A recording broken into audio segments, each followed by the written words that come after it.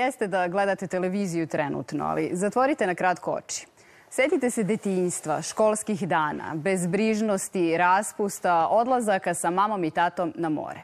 Nebo vam je bilo granica. Verovali ste da možete i da poletite. A verovatno ste i mogli. Sećate li se vi vašeg leta kada ste naučili da letite? A sada otvorite oči. U studiju je književnica koja je vaše uspomene stavila u knjigu, a pretočene su i u film. A da vam bude još lepše, potrudio se muzičar koji je pisao muziku za film Leto kada sam naučila da letim. Jasminka Petrović, hroniku.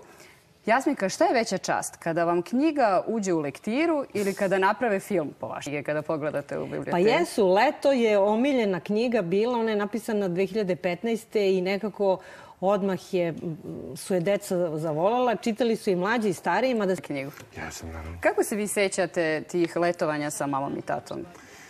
Pa, meni je detinstvo bilo pre... Živeo sam u nekoj drugoj zemlji tada i tada je, ovaj, mi smo uglavnom išli u Poreč, to jest preko puta smo išli svake godine i, i to je bilo predivno. I zbog tih uspomena je verovatno i ta knjiga tako dobro legla. Knjiga je, film je sniman na Hvaru. Vi ste prisustovali. Kakav je osjećaj? Uh, bio je divan osjećaj nekako... Filmske muzike mora da shvati ili primenjene takozvane muzike. Uh, tako da s obzirom da već imam iskustva, a pogotovo što imam iskustva sa radom sa Rašom Andrićem, mi smo nekako kliko je poči, ulazi da se približimo ili ići onom, kako se ispostavilo, voljom logikom, a to je šta je film, šta je priča i koja muzika ide uz taj film i tu priču. U publiku, ali ono zašto je teško pisati za decu jeste zato što ako pišeš za neko ko ima 5 godina, 10, 16, Tu smo pogodili i, i godine i mladih i starijih. Negde sam pročitala da uh, se deca smeju, a roditelji plaču dok čitaju knjigu i gledaju film. Samo da ga pitam, jeste se smejali ili plakali? Pa pomalo bilo tu suštinu ovaj, u ovom vremenu gde iskreni sebi i onom što hoćemo, e, e, izgubilo se ono ljudsko, ono humano, ono pravo, normalno.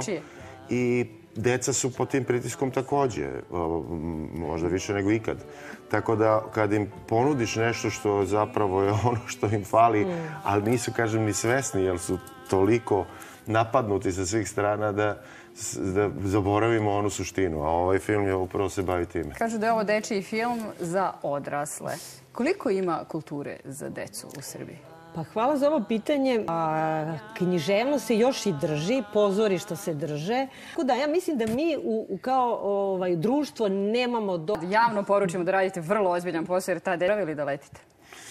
A, nisam, nisam, evo letim svaki dan upravo zbog uh, ovog filma možete videti na YouTube-u sećanja se, koja se zove Zaboravi grad, koja je više veselije i, i dečija, ajde da tako mm -hmm. kažemo. A inače, paralelno radim svašta. Ono što mogu da najavim je e, koncert jednog e, jako intef art kafeu 31. marta. Pa izvolite pa dođite. Hvala vam što ste bili gosti Beogradske hronike. Hvala vam što mislite tur. Hvala lepo. Nisu naravno što bi bile. Trenutno je 13 stepeni, sutra će biti 16. Cijele ove nedelje bit će preko 10 stepeni. Neće biti čak ni onih jutarnjih mrazeva. Slede Beogradske vesti.